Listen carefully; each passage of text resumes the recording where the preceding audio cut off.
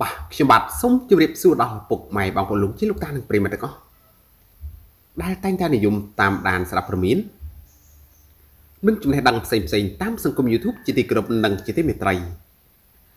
ក្នុងគណៈពេលនេះដែរខ្ញុំបាទមានអត្ថបទព័ត៌មានមួយ ដែលមានចំណងជើងថាទុកកូនមួយឡែកសិនដេនីខ្វាន់និងស្វាមីនាំគ្នាលំហែអារម្មណ៍នៅខេត្តមួយនេះបាត់ហើយប្រាប់ត្រង់ត្រង់ថា ចាប់តាំងពីមានទម្ងន់ហើយធ្វើការសម្រាលប្រកបដោយសុវត្ថិភាពកាលពីថ្ងៃទី8ខែសីហាឆ្នាំ2022កន្លងទៅនេះជីវិតស្នេហាអ្នកនាងដេនីខ្វាន់ចាប់ផ្ដើមស្រស់បំព្រងឡើង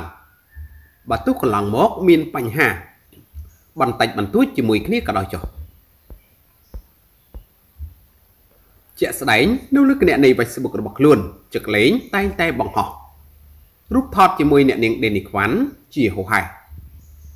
ហើយឃើញថាលោកបានមើលថែភរិយាខ្លួនដូចព្រះនាងចឹងតាំងពីមុនពេលសម្រាលរហូតដល់សម្រាលហើយនោះចំពោះកូនស្រីខ្លួនវិញក៏ចឹកលេងមើលថែបានល្អដូចគ្នា រហូតដេនីខ្វាន់ធ្លាប់ពោលពាក្យសរសើរថាប៉ាថែកូនបានល្អណាស់ ទោះយ៉ាងណាពេលនេះពួកគេបានទុកកូនផ្ញើជាមួយម៉ែដោះហើយនាំគ្នាដើរលំហែកាយដល់ខេត្តមួយនេះបាទបង្ហោះភ្ជាប់ជាមួយរូបថតបង្ហាញភាពផ្អែមល្ហែមជាមួយគ្នាជាច្រើនស្លឹកចេញពីខេត្តសៀមរាបនៅយប់ថ្ងៃទី18ខែកញ្ញាឆ្នាំ2022ចកលេងបានប្រាប់ត្រង់ត្រង់ថាពីអ្នកបានហើយផ្ញើកូនពៅនៅជាមួយម៉ែដោះ ប៉ាប៉ានាំម៉ាក់ម៉ាក់ដើរលំហែអារម្មណ៍សិន